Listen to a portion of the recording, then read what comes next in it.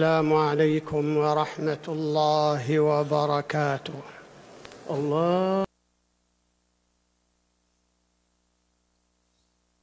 تمام تعریفیں اللہ کے لیے ہیں جو بخشنے والا اور غالب ہے جو شب و روز کو ایک دوسرے سے ڈھانپتا ہے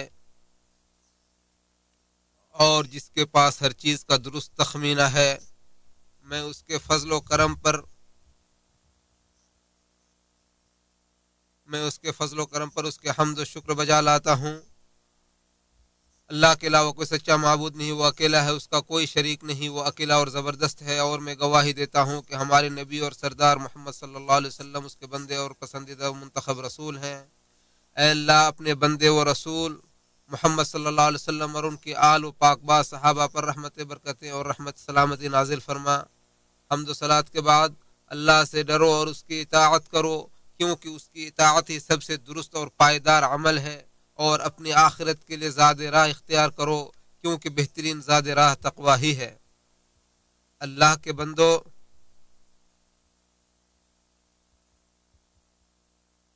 اس دنیا کی مختصر زندگی، اس کی حقیر خوبصورتی اور بکثرت اس کے بدلتے حالات پر غور و فکر کرو۔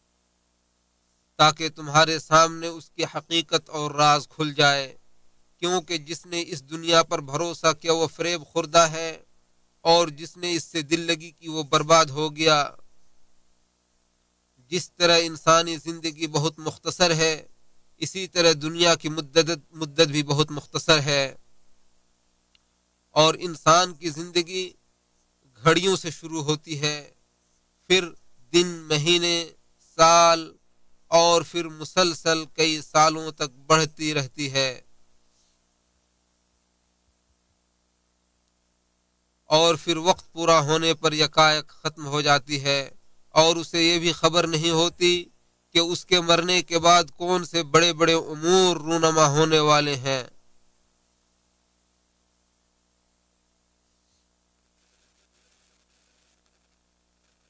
اے انسان کیا تمہارے بعد والوں کی زندگی بھی تمہیں ملے گی؟ نسلوں کی عمر کے مقابلے میں انسان کی عمر صرف ایک لمحے کے برابر ہے، بلکہ دنیاوی زندگی ہی متاع عارضی ہے اور متا سے مراد وقتی قوت وقتی لذت ہے جو فوراً ختم ہو جائے۔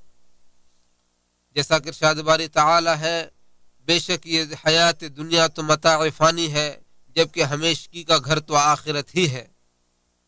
اور فرمایا، ان کے لیے دنیاوی زندگی کی یہ مثال بیان کیجیے کہ جیسے ہم نے آسمان سے پانی برسایا، جس سے زمین کی نباتات گھنی ہو گئی، پھر وہی نباتات ایسا بھس بن گئی جسے ہوائیں اڑائے پھرتی ہیں اور اللہ ہر چیز پر مکمل اختیار رکھتا ہے۔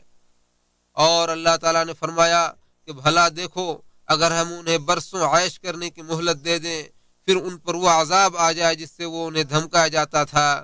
تو بھی لطف اندوزی والا سا ان کا سامان عائش و عشرت ان کے کچھ کام نہ آئے گا۔ اور قیامت تک لوگوں کے قبر میں رہنے کی طویل مدت کو اللہ تعالی ایک لمحے سے موسوم کرتے ہوئے فرماتا ہے۔ اور جس دن وہ انہیں جمع کرے گا، وہ ایسا محسوس کریں گے کہ گویا وہ دن کے ایک لمحے سے زیادہ دنیا میں نہیں ٹھہرے، دنیا میں ٹھہرے ہی نہیں، جو ایک دوسرے کو پہچاننے میں بیت گئے۔ اللہ تعالیٰ مزید فرماتا ہے، آپ اسی طرح صبر کریں جیسے العظم پیغمبر صبر کرتے رہے اور ان کے بارے میں جلدی نہ کریں۔ جس دن یہ لوگ وہ چیز دیکھ لیں گے جس سے انہیں ڈرایا جاتا ہے، تو وہ یوں سمجھیں گے جیسے دنیا میں بس دن کا ایک لمحہ ہی ٹھہرے تھے۔ بات پہنچا دی گئی، بس نہ فرمانوں کے سوا کوئی ہلاک نہ کیا جائے گا۔ ایک اور جگہ اللہ تعالیٰ فرماتا ہے اور جس دن قیامت قائم ہوگی تو مجرم لوگ قسم کھا کھا کر کہیں گے کہ ہم تو ایک لمحے سے زیادہ نہیں ٹھہرے۔ اے انسان، جب اللہ تعالیٰ یہ بتا رہا ہے کہ قیامت کے دن پوری دنیا کی مدت ایک لمحے کے برابر لگے گی، تو اس لمحے میں سے تمہاری زندگی کی مدت کتنی ہوگی؟ اور پوری دنیاوی زندگی کی مدت دائمی اور ابدی زندگی کے سمندر کے مقابلے میں ایک قطرے کے برابر ہوگی۔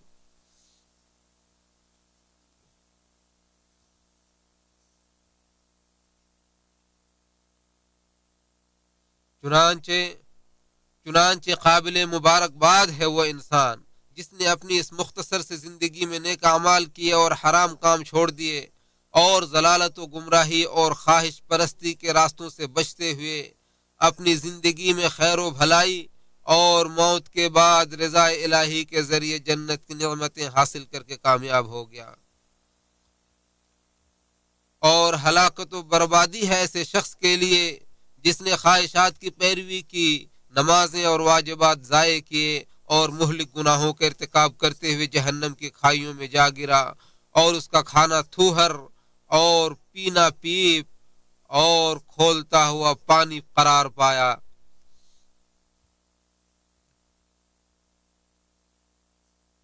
اے اپنی صحت کے گھمنڈ میں نافرمانیاں کرنے والے، اے اپنی فراغت کے بگاڑ سے غفلت کے شکار ہونے والے، اے دولت کے فتنے میں مبتلا ہو کر برباد ہونے والے، اے خواہش پرستی میں مست ہو کر گمراہ ہونے والے اے جوانی کے نشے میں اپنی بوسیدگی کو بھول جانے والے، اللہ کی نعمتوں کو اسی کے خلاف مست استعمال کر کے بغاوت و شرکسی کرنے والے، کیا تمہیں نہیں معلوم کہ اللہ تعالیٰ کو آسمان و زمین میں کوئی عاجز کرنے والا نہیں ہے؟